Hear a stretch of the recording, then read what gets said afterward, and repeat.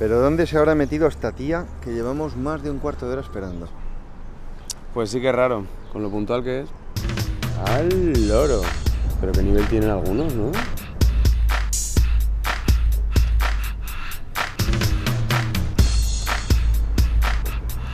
Gracias. Hola chicos, ¿qué tal? Oye, perdonar por el retraso, ¿eh? pero es que un paseo en limusina hay que hacerlo sin prisas. Anda, que habéis puesto una cara. Pero venga, no os quedéis ahí, pasar dentro.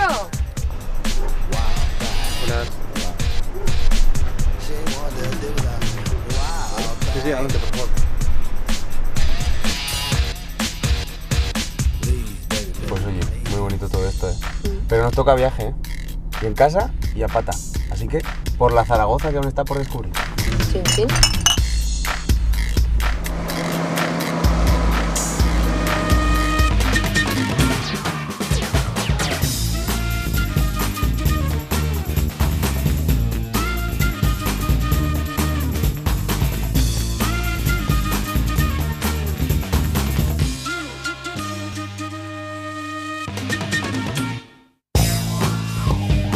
Conocemos con Nacho a fondo la ciudad de Zaragoza.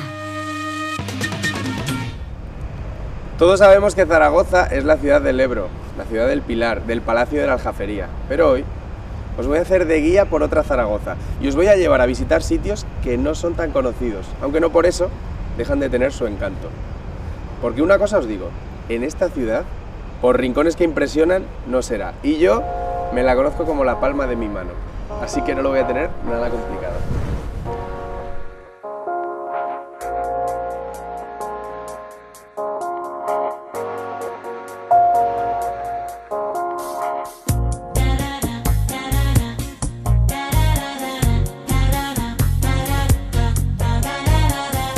Zaragoza es la capital de Aragón y el lugar de esta comunidad en el que todo parece concentrarse. Gente, servicios, negocios y también historia. Mucha historia. Una historia además muy viva y muy presente por la gran cantidad de vestigios en forma de murallas, torres, basílicas, palacios y numerosos museos que se pueden visitar y disfrutar en Zaragoza.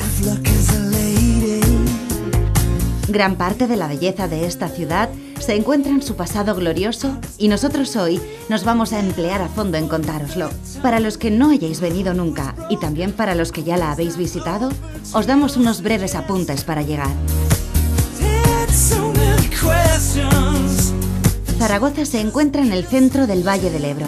Está unida a Huesca por la A23 y a Teruel por la autovía Mudéjar. Como veis, llegar desde cualquiera de estas dos ciudades no puede ser más fácil. Nacho, ya que nos vas a hacer de guía y presumes de conocer tanto esta ciudad, ¿Lo estás dudando? Venga, ponme a prueba. ¿me estás retando? Pues ahí van unas preguntas, a ver si sabes tanto como dices. Empezamos por algo sencillo. Además del Ebro, ¿qué otro río pasa por Zaragoza? Chupado, el Huerva. ¿Dónde vas tan deprisa que esto no ha hecho nada más que empezar? Seguimos. ¿Qué lugar ocupa Zaragoza a nivel nacional en cuanto a número de habitantes? Con algo más de 660.000 habitantes es la quinta ciudad española, después de Madrid, Barcelona, Valencia y Sevilla. Y te digo más, de las tres primeras las separan un poco más de 300 kilómetros y también está perfectamente comunicada con Bilbao y por supuesto con Huesca y Teruel. Por favor, limítate a contestar la pregunta. Ahora vamos con un breve cuestionario de historia. A ver si lo haces también. Venga, empieza, pero yo no me paro, ¿eh? Zaragoza es conocida como la ciudad de las cuatro culturas. ¿Puedes explicarnos por qué? Pues porque es fruto del mestizaje de las cuatro culturas que la han conformado a lo largo de los siglos, romana, musulmana, judía y cristiana. Además del título de ciudad de las cuatro culturas, ¿qué otros títulos luce Zaragoza? Los títulos de muy noble, muy leal, muy heroica, muy benéfica e inmortal. Ahí es nada. Muy bien. Y ya por último, ¿podrías decirnos los nombres que ha tenido Zaragoza a lo largo de su historia? Claro. Primero fue la ibérica Salduye, a continuación la romana Caesar Augusta, la musulmana Saracusta y por último Zaragoza o Zaragoza en época cristiana. Está visto que no hay por dónde pillarte. Por lo que nos cuentas, entonces su nombre actual procede del antiguo topónimo romano Caesar Augusta, nombre que el emperador César Augusto dio a la ciudad en el año 24 a.C. Eso es. Este señor de aquí, Zaragoza tuvo el privilegio de recibir el nombre de su fundador. Esta que vemos aquí es una réplica en bronce de la estatua de Augusto de Prima Porta que se encuentra en los museos vaticanos. Bueno, pues ya que ha quedado claro que eres todo un experto en Zaragoza, empezamos, que tanto hablar, tanto hablar. Pero no ha sido hablar por hablar, porque precisamente hemos llegado al sitio que quería enseñaros. Porque aquí, además de la estatua, están estos cuatro arcos que simbolizan las cuatro puertas de entrada a la ciudad que tenía la muralla romana. Ahora me toca a mí. En época romana, Zaragoza estuvo rodeada por una muralla de 3 kilómetros, 7 metros de ancho, y sus cuatro puertas miraban a los cuatro puntos cardinales. Pero estos arcos, además de simbolizar las cuatro puertas, guardan un secreto que yo os voy a explicar con la inestimable colaboración de mi ayudante Isabel. Isabel, saludemos.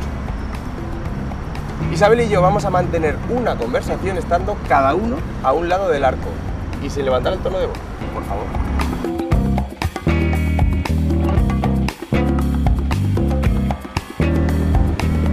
Hola Isabel, Hola Nacho. ¿qué tal? ¿Cómo estás? Muy bien, disfrutando este maravilloso día. ¿Me oyes bien entonces? Perfectamente, parece que estés aquí al lado. Bueno, pues ahora que nadie más nos escucha, Nacho, estamos trabajando. eh, sí, que eh, tengo mucho programa todavía por delante. Luego hablamos, ¿eh? Bueno, hasta luego. Hasta luego. Oye, en serio, venid a comprobarlo vosotros mismos. Yo se lo he enseñado a amigos míos y han flipado.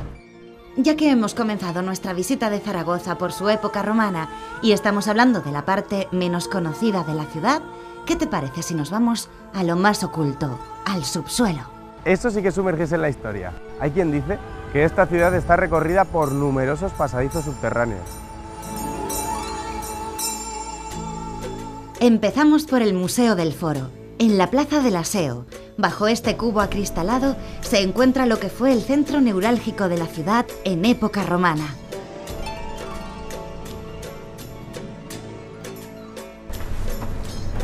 Habíamos dicho hacer un recorrido por pasadizos. Pero es que me habéis ido a colocar justo en lo que era la antigua cloaca, donde iban a parar las aguas residuales. Sí, Nacho, pero no te preocupes, que ya no se usa. Deja de quejarte y vamos a seguir hablando del Foro Romano, que por si no lo sabías, era el lugar donde se desarrollaba toda la actividad política, económica, administrativa, religiosa y social. Sí, sí, sobre todo la social. Es más, se conservan restos de dos tabernas, que eran una especie de establecimientos comerciales. Pero vamos, que seguro que aquí se reunían también a charlar y a beber. Que esto lo digo yo con conocimiento de causa, que en otra vida fui romano.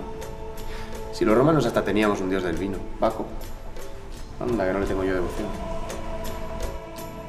Anda, vamos a seguir con nuestra visita por el museo, que además de reconstrucciones y una exposición de objetos que nos acercan a la vida cotidiana de la ciudad en época romana, cuenta con una interesante proyección audiovisual sobre diferentes hechos históricos acontecidos en este lugar.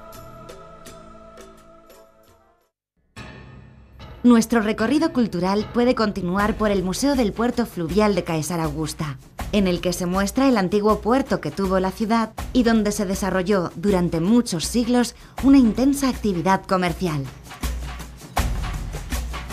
De aquí nos vamos al Teatro Romano, que con una capacidad para 6.000 espectadores fue uno de los más grandes de la Hispania romana y el único de los teatros romanos que se ha conservado en el interior de una ciudad. Y por fin llegamos al más pequeño de los cuatro museos que conforman el complejo romano, el Museo de las Termas Públicas de Caesar Augusta. Los restos de esta piscina termal porticada se descubrieron en el año 1982. La piscina llegó a tener más de 15 metros de longitud y fue utilizada desde el siglo I Cristo hasta el cuarto después de Cristo.